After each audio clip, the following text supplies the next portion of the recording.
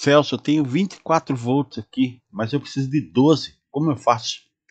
Usa o diodo Zener. Se você quer saber como calcular um projetinho para você ter os 12 volts regulados aqui, se inscreva aí no canal Você na Eletrônica e acompanhe o vídeo aqui agora, que vai ter um bônus no final, hein? Fala rapaziada, como que vocês estão aí? Então, hoje na aula aqui nós vamos mostrar para vocês como funciona o diodo Zener. Eu fiz aqui dois projetinhos, né? Vou pegar o lápisinho aqui. Um com resistor, para quem assistiu a aula de resistor aí sabe como funciona isso. E um com diodo Zener. Teoricamente seriam iguais, né? Vou fazer uma analogia a respeito disso aqui para vocês. No resistor aqui, se eu variar essa tensão aqui de 20 a 27 volts, essa tensão aqui também vai variar. Então, ela sempre vai ser a metade do valor de VCC, que está aqui em cima. Então, se eu coloquei 24 volts aqui, como tem dois resistores iguais, né, do mesmo valor aqui, aqui no meio vou ter 12 volts. Mas se eu variar essa tensão aqui, isso aqui vai variar também. Tem um outro porém também. Se eu colocar uma carga aqui junto, né, um outro resistor aqui em paralelo, essa tensão já não vai ser mais 12 volts aqui. Vai depender do valor que eu colocar nesse resistor aqui. Eu tenho uma carga aqui.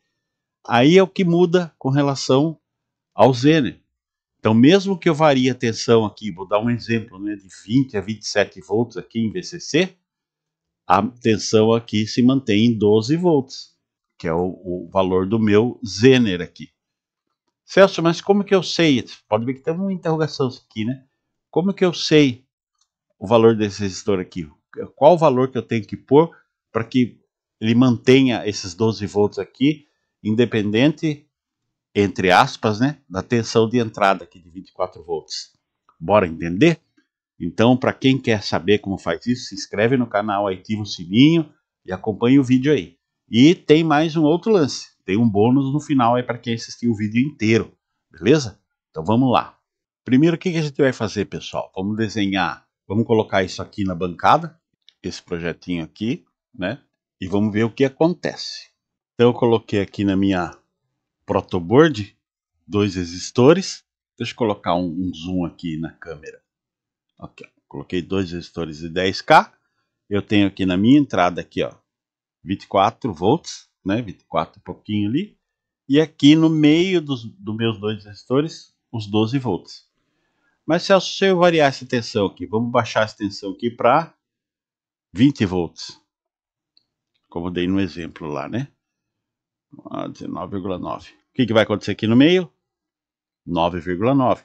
E eu não preciso, preciso de 12 aqui. Então, por isso que a gente usa o diodo Zener.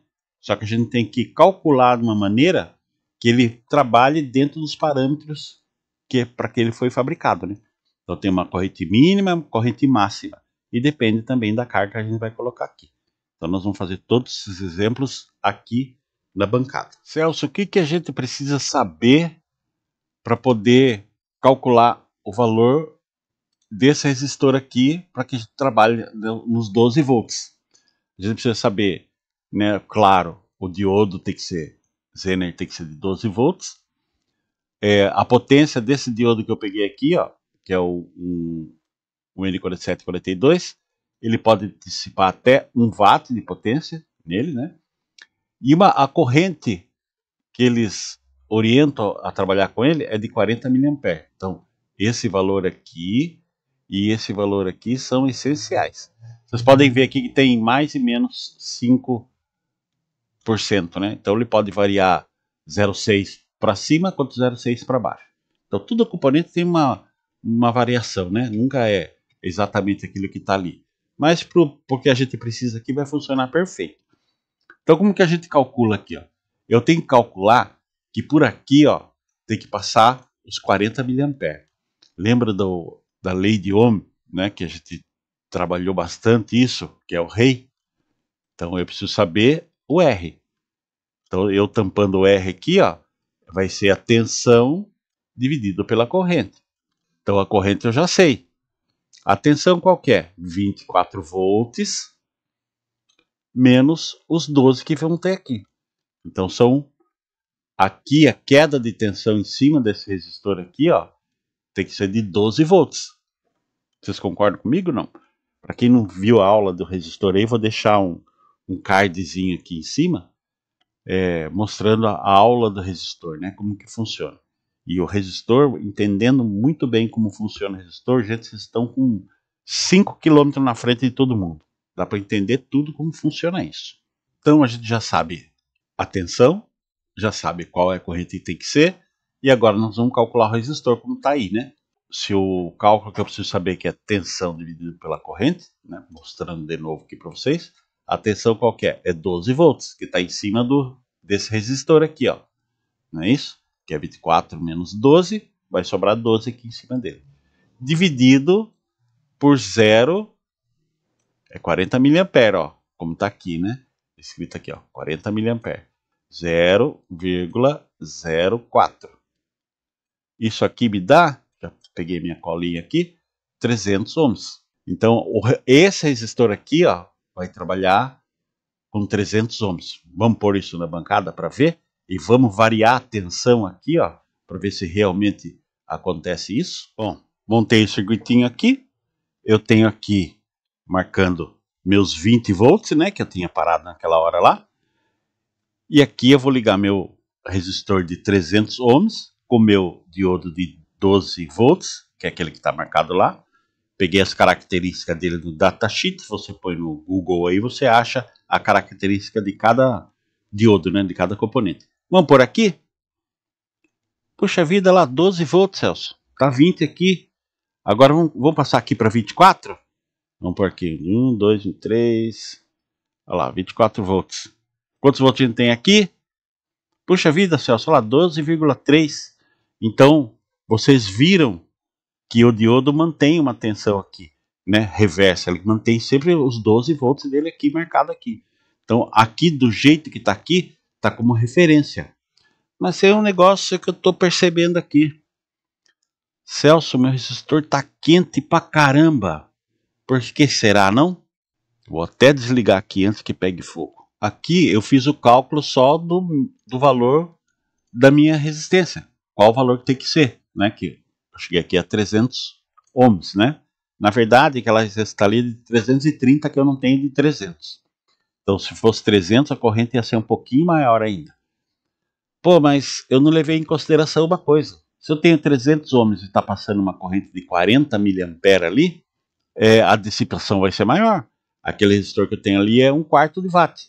Então é 250 miliwatts, né? São 250 mais 250 mais 250 mais 250, que dá 1 watt, né? Então é um quarto de watt. Mas qual que é a potência que tem que ser esse resistor? Ele vai aquecer, mas do jeito que está ali, uma hora ele vai abrir o bico, ele vai queimar. E como que a gente calcula isso? Para a gente calcular isso, a gente volta lá na lei de Ohm de novo, né? O que que fala lá? Que a potência P é igual a a tensão, né? Vezes a corrente. Então a gente mudando na regra aí para gente para ver a potência que vai dissipar aí, vai ser igual a 12 vezes 0,04, que é 40 miliampere que eu coloquei lá, não é? E por que, que é 12? Porque 12 é a queda de tensão em cima dele. Então, qual que vai ser o valor disso daí? Qual que vai ser o valor dessa potência? Então, a potência que vai ser aí, ó, é potência igual a 0,48 watts que, que é isso? É quase meio watt de potência que está colocando ali. E eu estou jogando o dobro disso em cima do meu resistor lá. Então, na verdade, a gente tem que ter um resistor aí de 1 watt. Você tem que ter uma, um valor aí para né, de, de margem para não queimar o circuito. Porque com o tempo esse ia começar a ficar marrom, aquilo ali, até a hora que ele ia abrir, abrir o bico ali, né? Ia alterar valor, ia, o seu circuito não ia começar a funcionar direito. Então a potência vai ser um resistor aqui de 300 ohms por 1 watt. E eu não tenho esse resistor aqui, senão eu deixava o dia inteiro ligado aí. Mas como eu tenho só esse de 1 quarto de watt, né, que é 250 miliwatts, só para exemplificar, eu deixei esse resistor aí. Então nós chegamos aqui à conclusão de como funciona para a gente manter essa tensão de 12 volts aqui, mesmo variando a tensão ali de entrada. Eu mostrei para vocês aí que funciona perfeitamente. O que, que vocês precisam ter em mãos? É, atenção que vocês vão trabalhar. Eu não sei o meu resistor, qual eu vou usar. Eu vou preciso definir qual meu diodo Zener eu vou usar, qual tensão de trabalho que ele vai aqui para trabalhar, né? Aí depois eu preciso dos dados do meu Zener. Você viu que é facinho de fazer o cálculo aí, não tem segredo nenhum, né? É, é vezes dividir, não tem segredo qualquer. É só a única coisa que tem que saber é colocar as fórmulas na cabeça. Então, nós colocamos aqui 24 volts, um diodo N de 12 volts. A potência que esse diodo N pode dissipar é de 1 watt, né?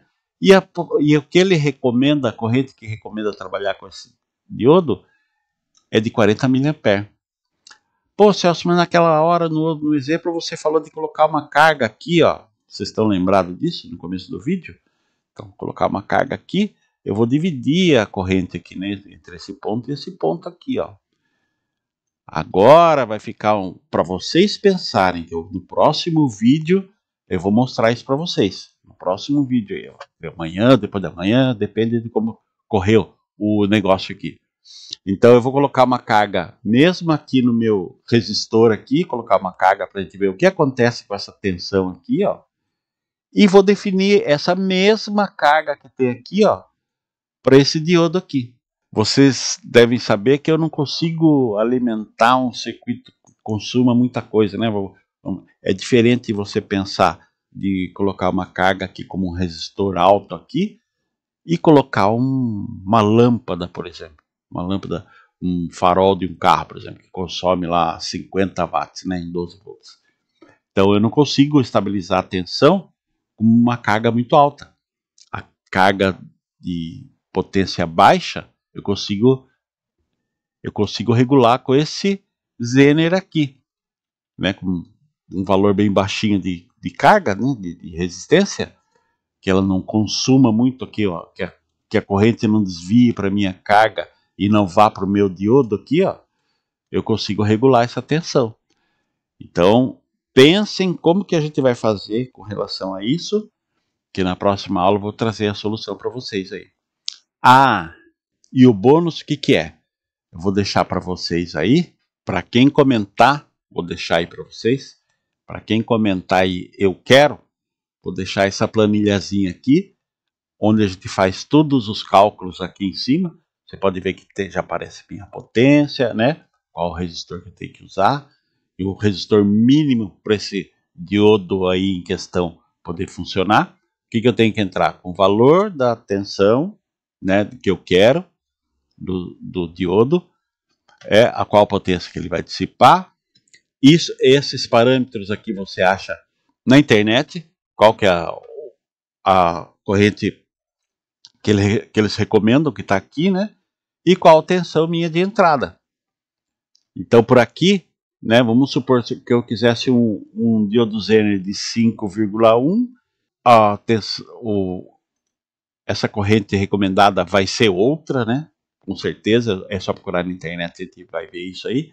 Mas vamos supor que fosse tudo igual aqui. Vamos supor, ele já me calculou aqui o valor do resistor, 472 ohms. Não tem isso comercialmente, né? Tem que procurar um valor baixo, acho que de 480 deve ter. E já me mostra a potência que vai dissipar também. Então, eu vou para quem falar assim, eu quero aí no canal comentar eu quero, eu vou disponibilizar aí a, a planilha para vocês. Beleza?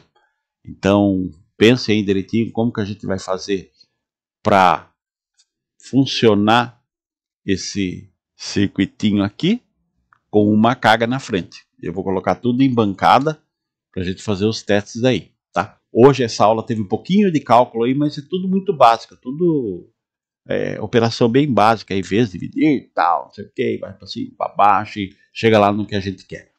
Então, como referência, a gente já conseguiu fazer um cálculo sem carga na frente.